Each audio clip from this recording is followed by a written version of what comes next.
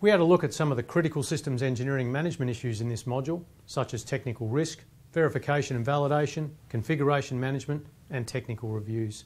We also emphasised the importance of developing a workable systems engineering strategy by reviewing the waterfall approach and introducing alternatives like incremental and evolutionary approaches.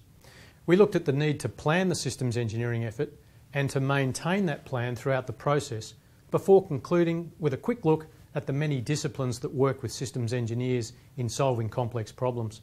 As usual, there is a quiz to allow you to confirm that you've understood the concepts introduced in the module and there are a couple of exercises for you to complete as well. The exercises concentrate on the related disciplines of project management and integrated logistics support.